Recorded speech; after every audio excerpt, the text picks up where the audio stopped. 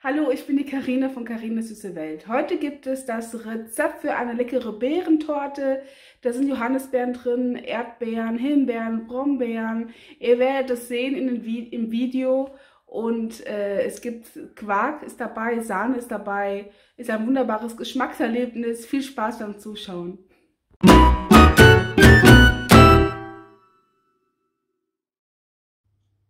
Jetzt ist hier der Biskuitboden, der Schokobiskuitboden, den habe ich gestern gebacken, der ist jetzt ausgekühlt. Ich habe ihn schon geschnitten in vier Böden. Dann geht es weiter zur Füllung. Dafür habe ich ein Pack von dieser Beerenmischung. Das sind 750 Gramm, die sind tiefgefroren. Die kann man auftauen lassen. Ich habe jetzt hier 500 Gramm äh, zum Verarbeiten genommen. Das heißt, 52 Gramm sind noch in der Tüte. Die kann man nachher zur Dekoration nehmen oder auch zum zwischen der Creme zum Reinlegen. Man sollte nur darauf achten, dass die nicht gefroren sind, weil die sonst Wasser lassen und dann die Torte aufweichen können. Also kommen die nachher in den Sieb und die werden dann richtig aufgetaut. Dann brauchen wir ein Pack Puderzucker. Ich habe hier 52 Gramm Zucker. Die werden mit den Beeren jetzt äh, benutzt. Dann habe ich zwei Pack Gelatine A6 Blatt. Es gibt aber auch ein Pack A12 Blatt. Also es sollten 12 Blatt Gelatine sein. Dann vier Sahnesteif, zwei Quark A250 äh, Gramm und zwei Schlagsahne A200 Gramm. Dann gehen als nächsten Schritt die Beeren in einen Topf.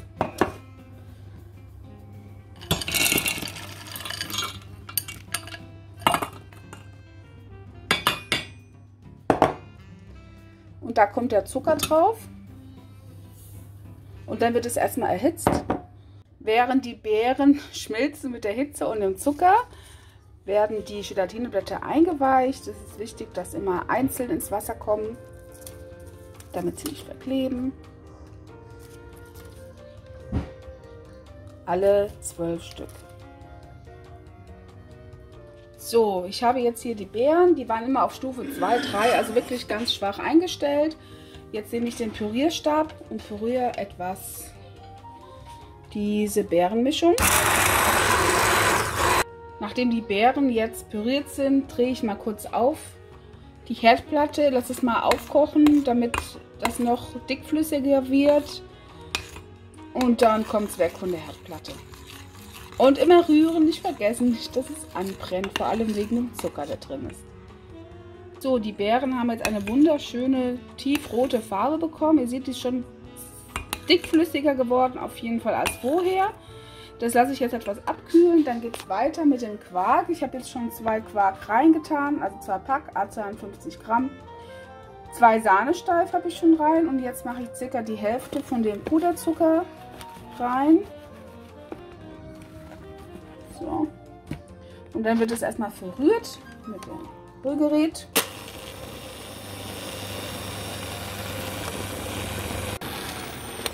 So, das reicht, ist wunderbar cremig geworden schon. Und dann geht es weiter mit der Sahne. So, jetzt habe ich hier die Sahne. Das sind zwei Päckchen Sahne. Die werde ich jetzt erstmal aufschlagen. Dann kommt der Puderzucker noch rein, der restliche. Puderzucker ist jetzt drin. Jetzt kommen noch die zwei Sahnesteifen rein. So, die Sahnesteifen sind jetzt auch drin. Ihr seht schon, die Sahne fängt jetzt schon an steif zu werden hier. Mal aufpassen, dass man die nicht überschlägt. Und dann können wir schon diese Sahne mit der Quarkmasse vermischen. Das hier ist die Quarkmasse und da kommt jetzt diese Sahnemasse rein. Hier habe ich jetzt die Quark-Sahnemasse, die schmeckt wunderbar. Ich habe es gerade probiert, ein Traum. Jetzt habe ich hier die Beeren. Die kochen nicht mehr, die sind ja von der Herdplatte runter. Sie dampfen noch etwas, aber das ist ganz okay für die Temperatur mit der Gelatine. Die kommt nämlich jetzt rein. Dafür drücke ich immer ein Blatt aus. Das Wasser ausdrücken. Und dann wird es hier reingegeben und verrührt. Und mit der Temperatur löst sich die Gelatine auch sehr schnell auf. Und das mache ich jetzt mit allen zwölf Blatt, die in dem grünen Becher sind. In der grünen Schale. Mein Sohn ist ganz begeistert. er steht neben mir. Mit einem Hocker. Mit einem Hocker, ja, damit er auch gut sehen kann. Ja, also ich bin fünf Jahre alt. Mhm. Und sehr neugierig, so wie ich. ja, wir haben noch niemals die gesehen. So, beide Cremes kommen jetzt in die Kühlung. Ich würde sagen so für circa 15 Minuten, da die Beeren ja auch noch ziemlich warm sind. Und wenn die jetzt mit der Sahne vermischt werden würden, würde die Sahne sich verflüssigen. Das möchten wir natürlich nicht. Deswegen kommt es jetzt erstmal in die Kühlung für 15 Minuten. Und wir sehen uns gleich wieder. Die beiden Cremes waren jetzt in der Kühlung für 20 Minuten. Ihr könnt sehen, das ist wie eine Art Marmelade geworden, also richtig schön sämig. Und die Creme konnte ja auch kühlen, also der Quark mit der Sahne. Und ich werde jetzt beide Cremes vermischen, werde aber nicht sofort alle die ganze Beerenmasse hier in die Sahne geben, sondern gebe erstmal einen Löffel von der Sahne hier rein. Sind mein Temperaturangleich. Und dann Stück für Stück wird es dann vermischt und aufgelöst.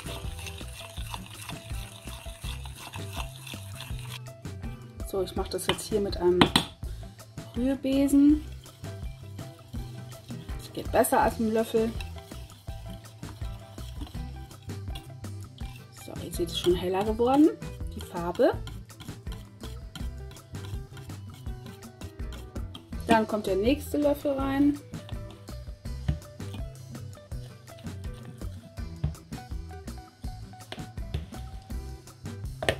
zwei, drei Löffel.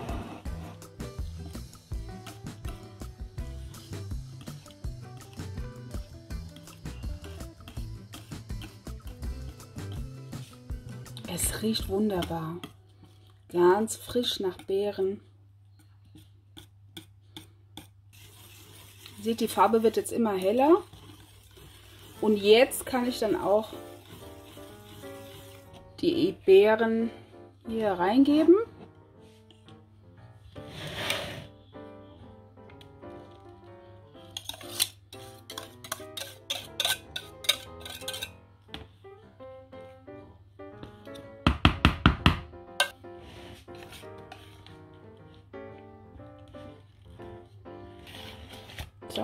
Würde ich euch empfehlen, sobald das hier alles gut vermischt ist, die Creme zu probieren. Ob es für euch noch schmeckt, ob ihr noch irgendwas dazu machen möchtet. Das werde ich jetzt auch machen.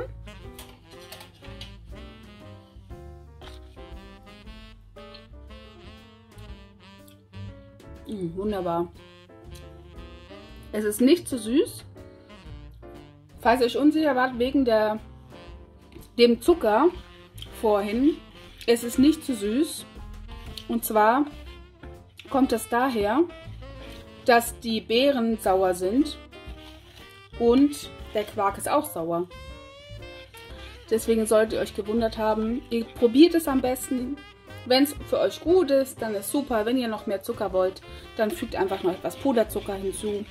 Der schmilzt besonders leicht, leichter als der raffinierte Zucker und dann geht es auch schon gleich ans Anstreichen und Befüllen der Torte.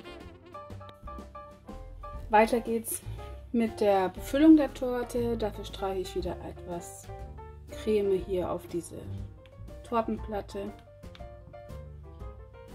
Tortenuntersetzer, dann fange ich an mit dem ersten Boden. Der sollte schon in der Mitte liegen.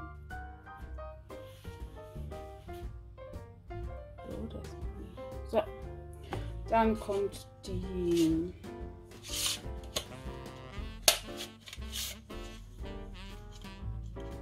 der Tortenring drauf. Und dann wird circa ein Drittel der Creme reingefüllt. Da sie ziemlich flüssig ist noch, nehme ich dafür jetzt einen Schopflöffel.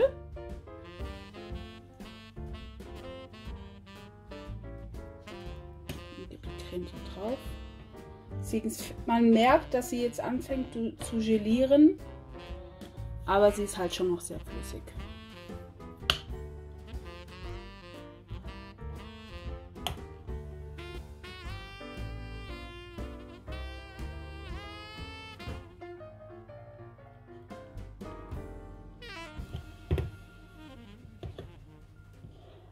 So, dann streiche ich sie einigermaßen glatt.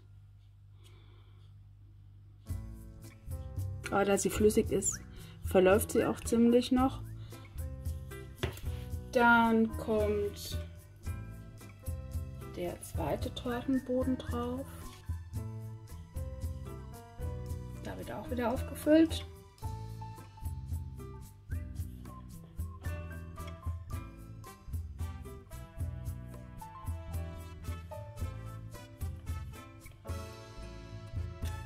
Habe ja ziemlich viel Gelatine reingegeben und Sahne steif in den Quark und in die Sahne, damit das dann nachher auch richtig schön fest wird.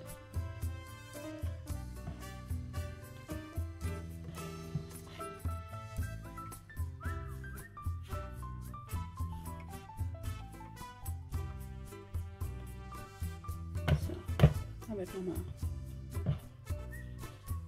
etwas glatt gestrichen.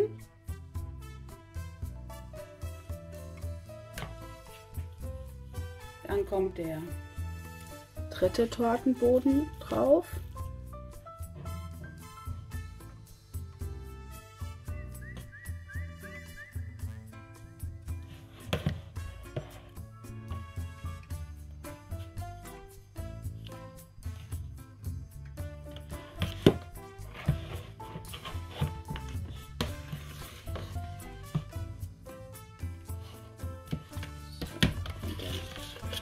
Fast der, die ganze Creme jetzt wieder drauf.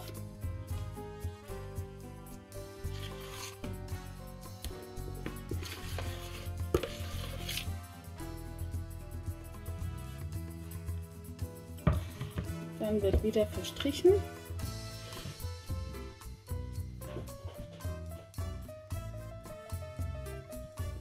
Und dann kommt der letzte Boden drauf.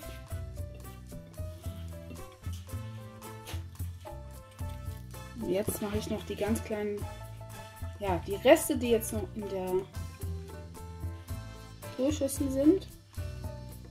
Die verstreiche ich jetzt noch oben auf den Teig, damit der Teig oben nicht austrocknet.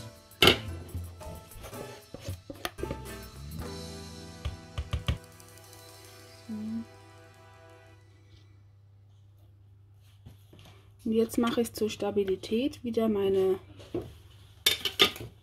Strohhalme rein. So.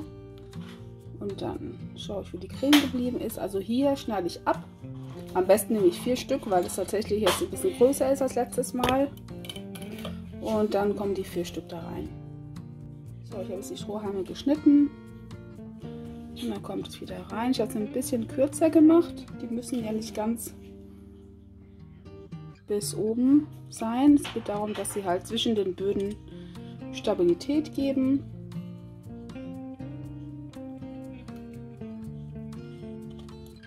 Zufälliger habe ich den, zufälligerweise habe ich die auch in der gleichen Farbe, also rosa-violett. So. Und jetzt einfach nochmal mit etwas Creme drüber streichen.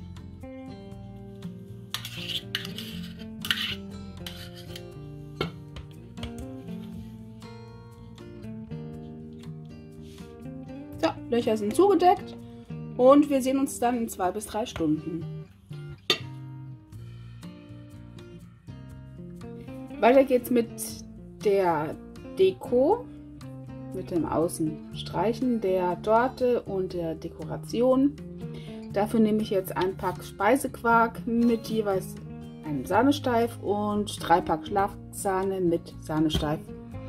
Dazu benötige ich noch Butterzucker und Farbe, Lebensmittelfarbe. Die habe ich hier. Da habe ich einige verschiedene.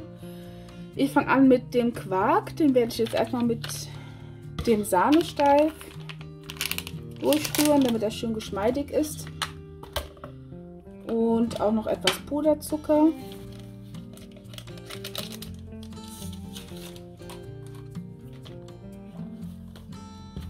Das mache ich jetzt nach Gefühl, aber wie gesagt, sagt er immer, jeder hat einen anderen Geschmack von Süße. Einige mögen es saurer, einige mögen es süßer. Danach könnt ihr euch dann rechnen. So.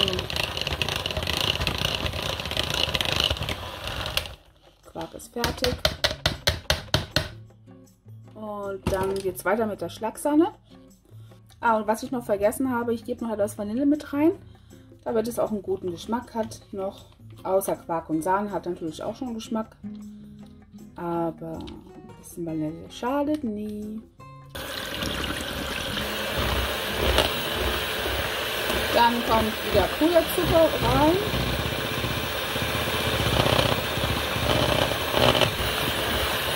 Aber wie gesagt, nachher kommt der Quark hier rein und dann probiert er einfach, ob es euch süß genug ist. So, die Sahne fängt jetzt langsam an steif zu werden. Da mache ich jetzt noch Sahnesteif rein. So. Die Sahnesteif sind jetzt drin. Und jetzt mache ich hier noch den Quark kurz rein.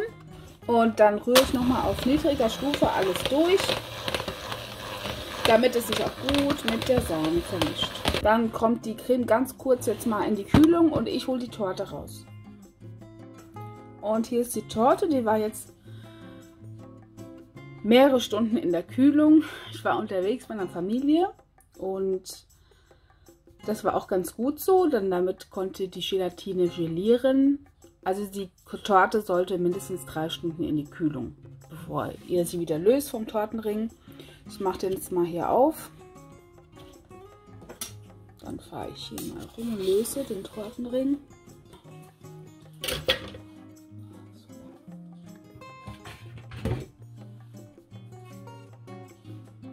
Wirklich schön geworden. Hier ihr die Torte von der Seite. Ihr seht, sieht echt gut aus mit den Böden und der Creme. Ist schön cremig. Hier oben. Und jetzt werde ich sie erstmal einstreichen.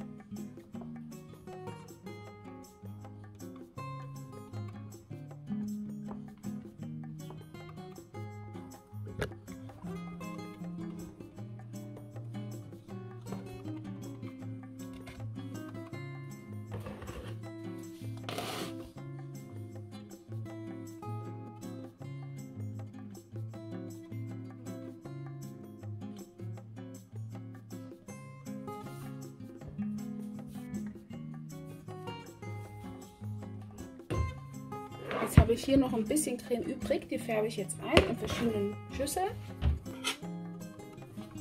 Sieht man das hier? Das ist Violett von Wilton.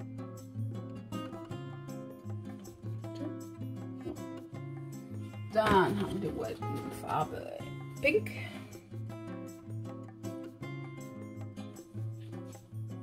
Die lasse ich noch stehen. Da habe ich mich noch nicht entschieden, genau wie ich sie einfärben möchte. So, ich habe jetzt wie gesagt die Creme in Spritztüllen gefügt. Ich habe einmal diese Spritztülle hier. Dann fange ich mal an.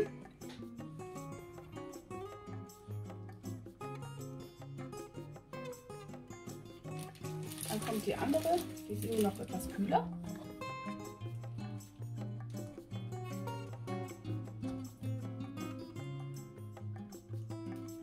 Die Torte ist jetzt in die Kühlung gegangen. Ich bin noch nicht ganz fertig, aber ich hatte das Gefühl, dass die Torte dringend in die Kühlung muss, bevor mir alles runtersackt, weil die Creme zu warm wird. Die ist jetzt erstmal in der Kühlung, wie gesagt, aber ich möchte doch noch etwas dekorieren in Weiß. Oder in einer anderen Farbe, weiß ich noch nicht so genau. Auf jeden Fall brauche ich noch einen Pack Schlagsahne, deswegen sage ich es euch, dass mir die Creme nicht ganz gereicht hat. Ich mache jetzt noch eine, noch eine Schlagsahne auf.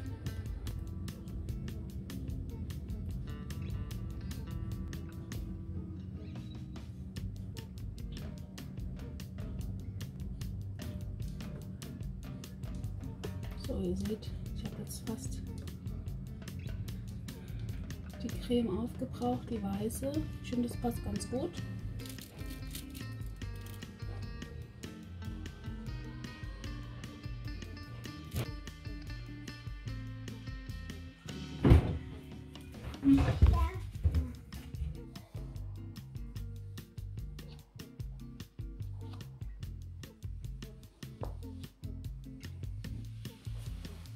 Etwas Glitzer ist auch drauf.